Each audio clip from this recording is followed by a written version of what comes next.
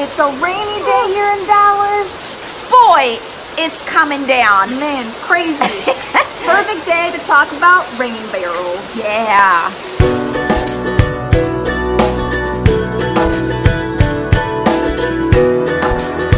Okay, I'm Jenna with Mother Daughter Earth, and I'm Mariana.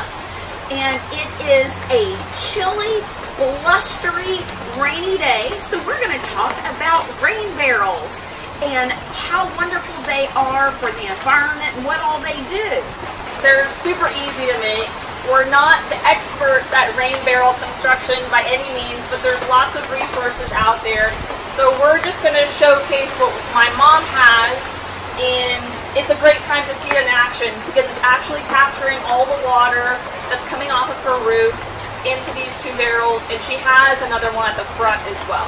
My husband, who's not terribly handy, he took a class with the County Extension Service on how to make rain barrels and came home with these two rain barrels one day, and they have been serving us well for the past few years.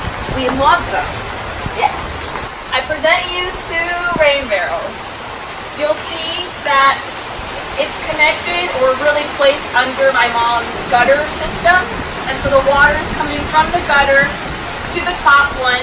And once this top one is full, then it goes to the bottom rain barrel. So you're really able to capture water into both of these. We then have a hose connected to the bottom one. So in the summer especially, we use these a lot to water our veggie garden if they need extra watering or any of the plants around here. So we do actually put these rain barrels to use quite a bit. Plants prefer rainwater. It also, you're keeping water from going into the storm water system and you're letting water be able to percolate into the soil whenever you need to use it and you have extra, extra water, especially during a drought. I just love using my rain barrels. So here we have the rain barrels.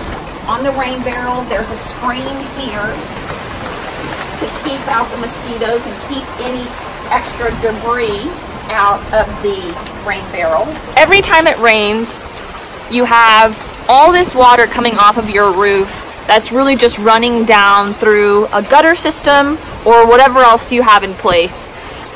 This water really could be captured and used and taken advantage of and not just left to run down run down the street. Um, this is one of my mom's gutters. The other ones are connected to a rain barrel, but this is a great example of a, a room for improvement. But you can also just put your puppy to work to drink up all the rainwater.